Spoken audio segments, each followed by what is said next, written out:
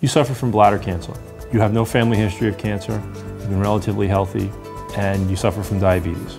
Do you take Actos or Actos Plus Met? Recent FDA publications indicate that there's a higher association of the usage of Actos and Actos Plus Met and diabetes sufferers and the development of bladder cancer. I'm Matthew McCauley from Parker Waichman.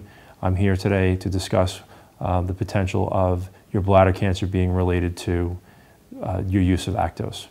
Actos is a medication that's commonly used um, by diabetics these days.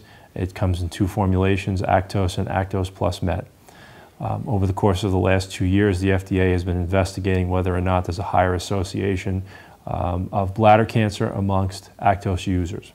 In September of 2010, uh, the FDA released a publication stating that it was investigating, but it wasn't quite ready to say whether or not it was a higher association.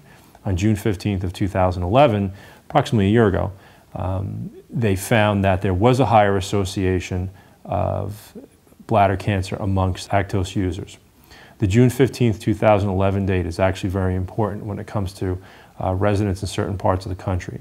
Um, this may be important when it comes to your statute of limitations or the time that you have to file a case.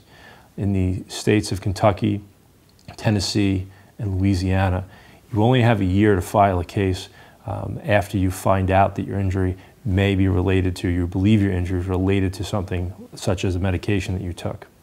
As such, if you were diagnosed with bladder cancer um, more than two years ago, three years ago, um, as early as uh, 2005 or 2004, you only have until June 15th of 2012 uh, to file a case that we are currently investigating. My name is Matthew McCauley, attorney with Parker Waichman. I investigate these cases every day. Call me and I will discuss with you whether or not there may be an association between your Actos use and the bladder cancer that you suffer from. Thank you very much.